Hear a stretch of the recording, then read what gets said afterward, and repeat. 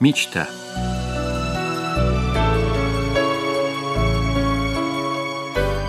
То и дело в свое необжитое будущее я отправляю мечту.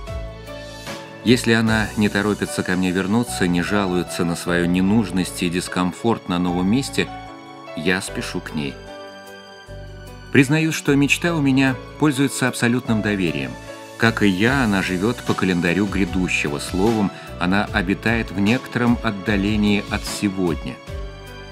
Если я за ней не следую, то, возвращаясь, мечта одаривает различными неожиданными подарками. Мечта у меня очень смелая. До всего интересного она может дотянуться, но, ударяясь о неожиданные препятствия, случается горько плачет от безысходности. Если же на нее нападают сомнения – мужественно сражается до победы. Но есть у мечты и недостатки, самый опасный из которых – это ее непостоянство.